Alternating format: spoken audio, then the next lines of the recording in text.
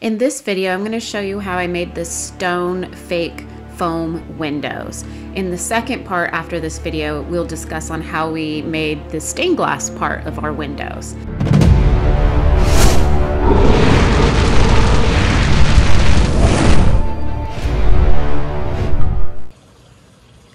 Here's the foam we're going to be using to cover up these windows. So the whole point is to make it look like a castle. So the window here will be covered up and then I'm gonna cut a castle window into the foam and project from the back a rainstorm, but I'm also gonna make it look like a stained glass window as well. So that is what we'll be doing today. The story of my life. Let's try this again.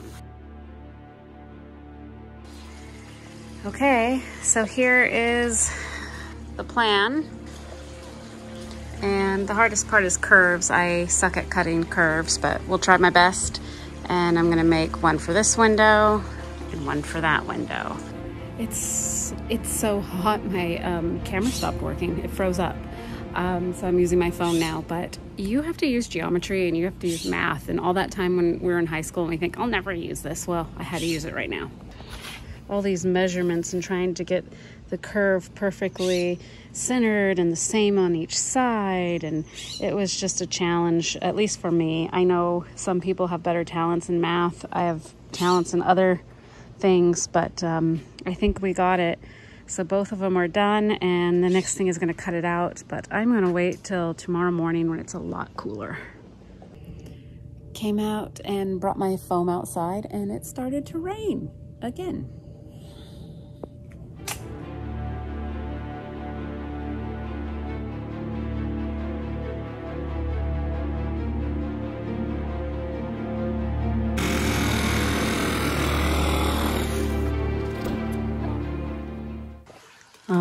All right, it fits like a glove. Perfect. Okay, so that's one just popped right in there. And you might think, how are you gonna keep it to stay there? Well, double stick tape and at the bottom and at the top, I'll have some little tabs that will just keep it in place there. Where do you think you're going? Penny, Penny, get back in the yard. Keep going. Get back in the yard. Go. Go. Good girl. Anyways, so now we are going to add some stonework to it, some details around the window and paint it and it will be done. And then we're gonna do the stained glass window after that. I bought myself a new Ryobi tool because it came with batteries. It was a Ryobi day sale and I needed batteries for these new speakers I got, which are super cool. So I'm gonna be using this new tool for my stonework in the windows. So here it is. I am, um, haven't even used it yet. So I thought this might work. I have other tools, but I really wanted to try this. It's something new. I haven't done it before. Super excited. Um, I have arthritis, so I thought maybe this would be a little lighter or maybe it would help me. I'm multitasking. I'm doing laundry as we speak because that's almost more of my full-time job. Penny, get out of the garage. You're always in here. Get out. Out.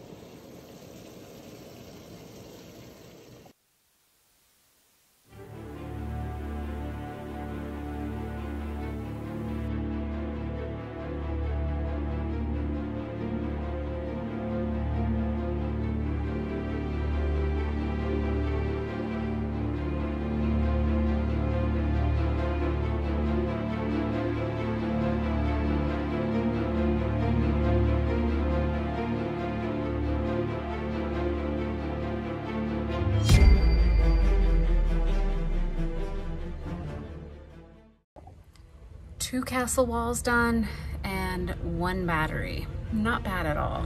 Uh, this thing is amazing. It does get hot and my hand got a little sore and it's just because I have an injury, but other than that, this thing rocks.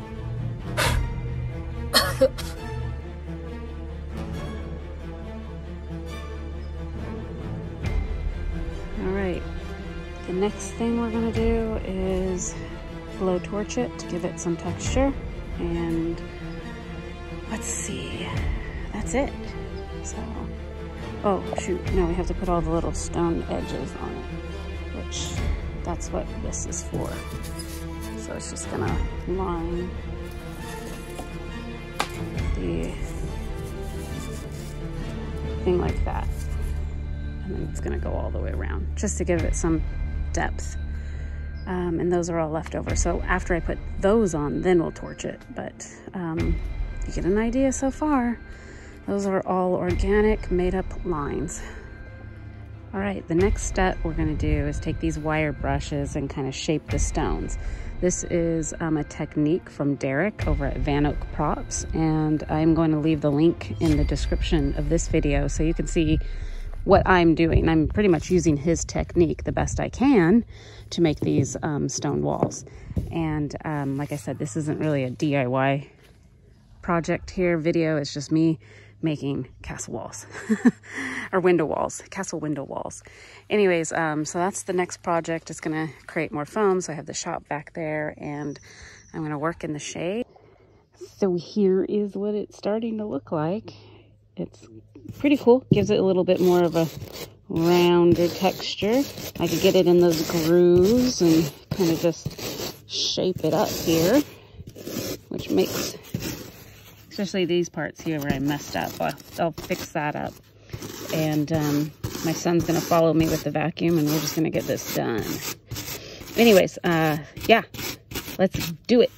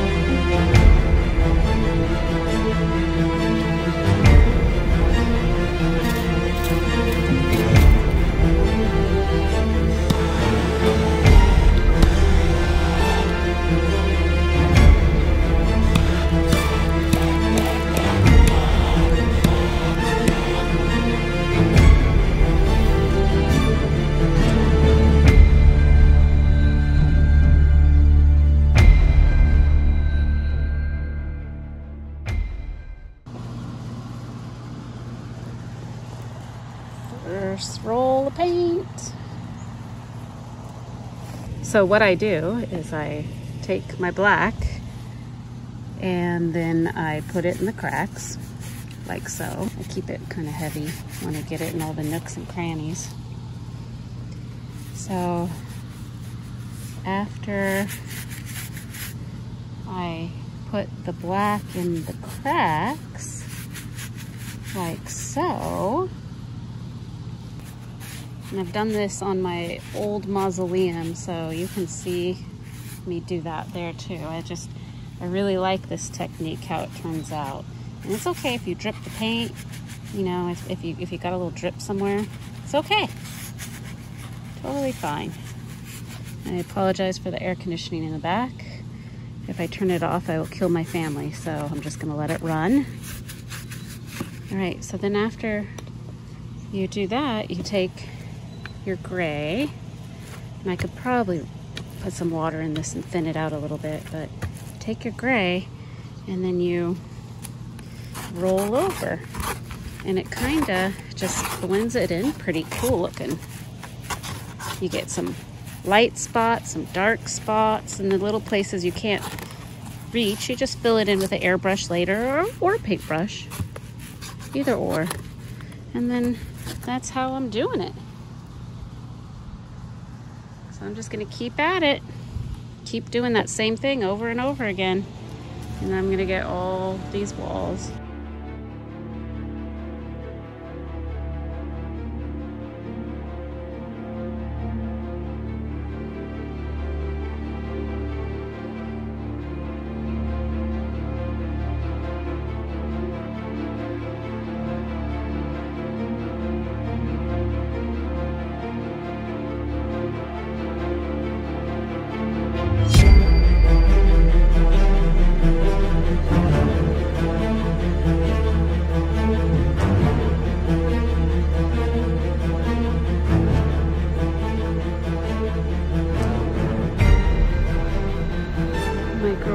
To say hello.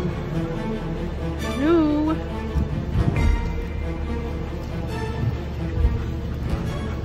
And Max, of course. It's too hot. It's like 98 today. So I'm gonna start early in the morning tomorrow, but I'll do the touch-ups um, another day.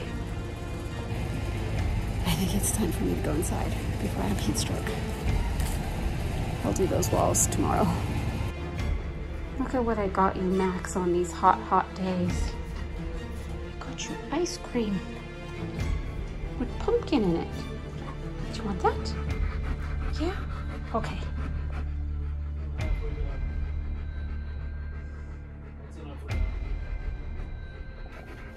Go lay down. Lay down. This video is getting quite long, so I broke it up in two parts. Be sure to watch the next part where I make the stained glass windows and we put them together with these windows that we made out of foam. Uh, thanks for watching and stay spooky, my friends.